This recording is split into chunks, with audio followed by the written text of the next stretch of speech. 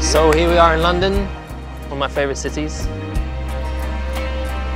It's warmer in Scotland. Yeah, for sure. Uh, yeah, so we're gonna go and check out this real nice restaurant and we get to eat at the same time. Perfect. Hi, welcome to Lewis. Corpetto. Hi. You thought you were here for lunch, but we're going to do some cooking. I'll do the dishes. He'll cook. Okay.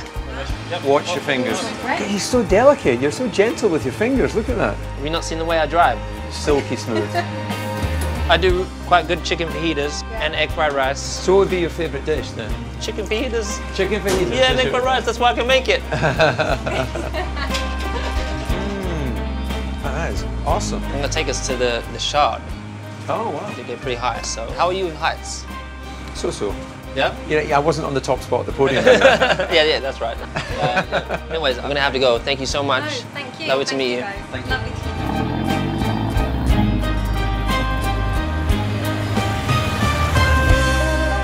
Have you had a view like this before? Uh, yeah, actually, I brought my mum here for her 54th birthday, I think. Uh, I like to stay right next to, to Hyde Park if I'm, if I'm here, so then I can go for a run. Hyde Park is over there. So we've got the London Eye.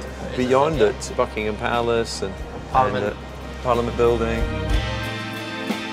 I do need to get going because I'm going to a party tonight. I need to go and put on the suit and uh, represent. Have a great night, and as always, great to see you, and all the best.